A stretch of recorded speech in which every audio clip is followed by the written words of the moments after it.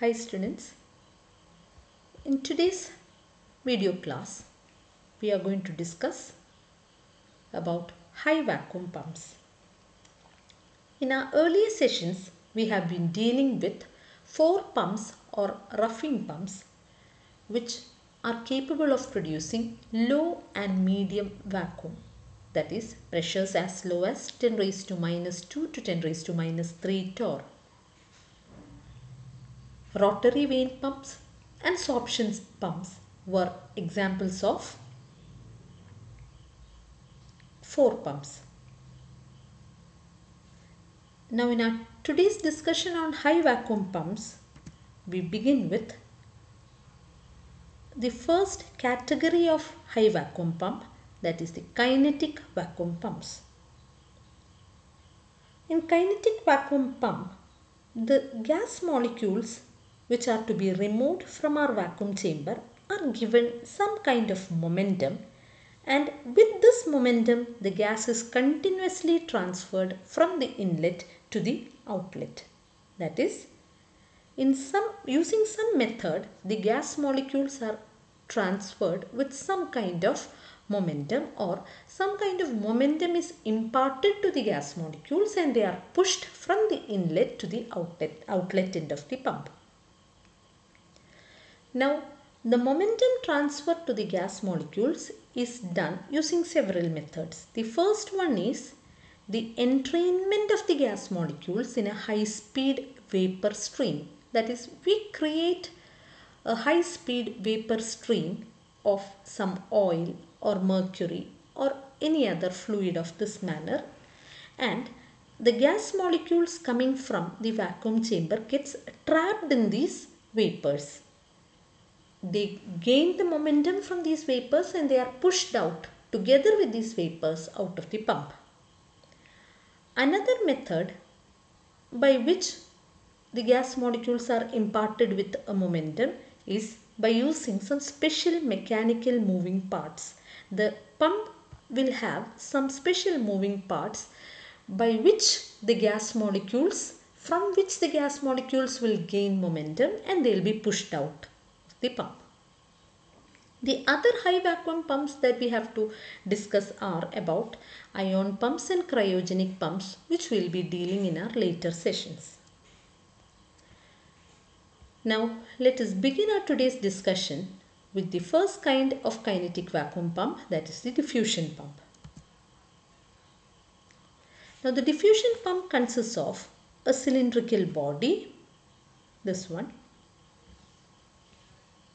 fitted with a flanged inlet for the attachment of the system to be evacuated. At the bottom of the cylindrical body, there is an electrical heater for heating the pump oil which is used to produce the high speed pump vapors. Now the pump oil is usually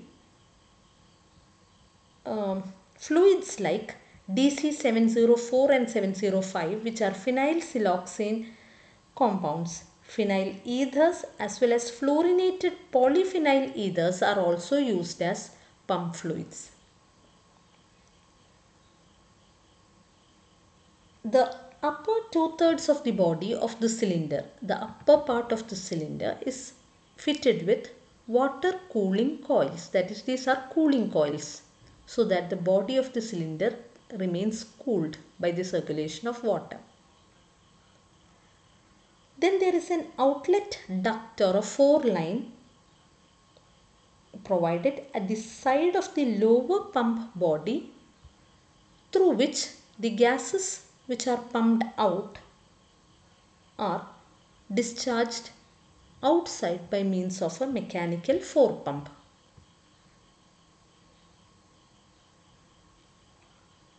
Now the chamber to be evacuated is separated from the diffusion pump by means of a baffle valve. Now the most important part of the diffusion pump is this jet forming structure. The jet forming structure consists of concentric cylinders. Here there is a cylinder, the first cylinder, the second cylinder, the third cylinder. So there are concentric cylinders which are partially capped. They are partially, all of them are partially capped and they have flared ends. They are fitted with flared ends all along so that these flared ends help them to form umbrella like jets through which the pump fluid vapors, the fluid vapors comes out at supersonic speeds.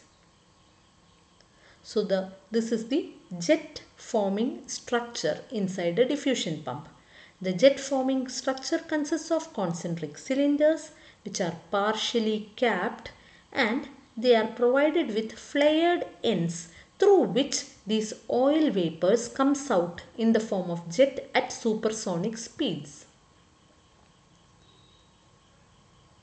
Now initially the chamber and the diffusion pump are independently roughed by closing the appropriate valve to the fore pump.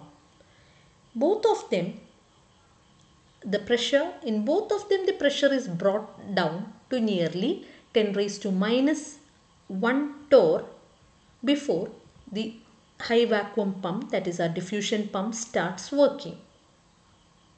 After the initial pumping on both sides that is at the vacuum chamber and at the pump side after the initial pumping or reduction of pressure is done the valve to the fore pump is closed and this baffle valve is opened so that our vacuum chamber is in connection with the diffusion pump alone. Now let us come to the operation of the diffusion pump. I hope the parts of the diffusion pump is clear to all of you. Once again it consists of a cylindrical body which is fitted with a flanged inlet over which the vacuum chamber is fitted. Then there is an electrical heater here to heat the pump oil and oil vapors are produced which comes out through these concentric cylinders in the form of supersonic jets. Now both sides the upper two thirds of the cylinder is provided with water cooling coils or these walls of the cylinder are cooled then there is a duct line or a fore line which is connected to a backing pump to remove the pumped gases. Now let us come to the working. Now the pump fluid is heated by means of the electric heating coil and the vapor stream rises up. The vapor stream rises up the jet forming structure and it comes out along these flared ends at supersonic speeds. Now what happens is at the same time the gas molecules from our vacuum chamber which is to be evacuated will come down will simply wander down and they get trapped with these oil vapors and they come out together with these jet of oil vapors. The gas molecule together with the jet of these oil vapors uh, together with these oil vapors comes out in the form of jets.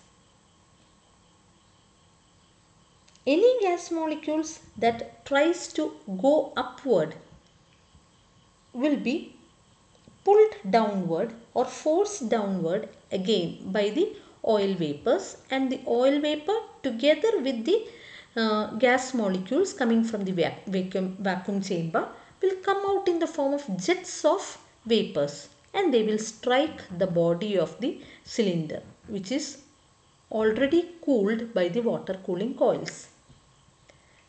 Now the cooling coils will condense the oil vapors and the oil vapor will return to the reservoir in which the pump oil is kept and the gas molecules will be pumped out by using the backing pump by means of the backing pump.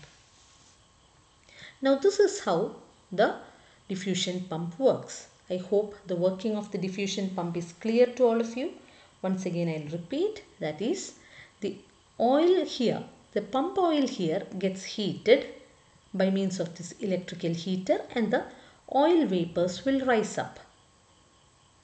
The oil vapors which rises up will come out in the form of jets at supersonic speeds along these flared ends.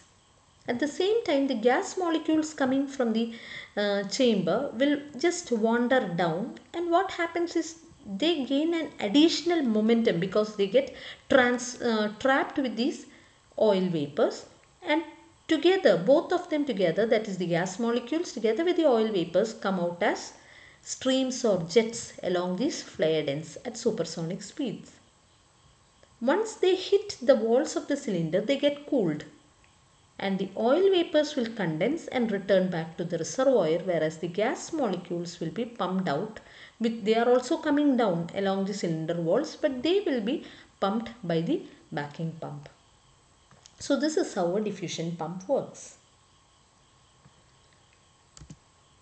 Now this graph shows the variation of pumping speed with the pressure for a diffusion pump.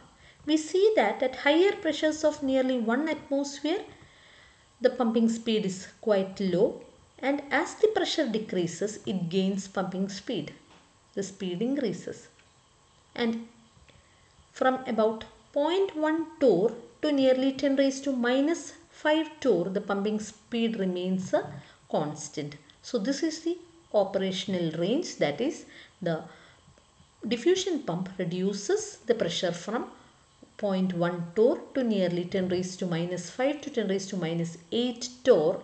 The action of the pump takes place at a constant pumping speed. Thus using the diffusion pumps, pressures as low as nearly 10 raised to minus 8 torr can be attained. So I hope the working of the diffusion pump is clear to all of you. If you have any doubts, please do contact. Thank you.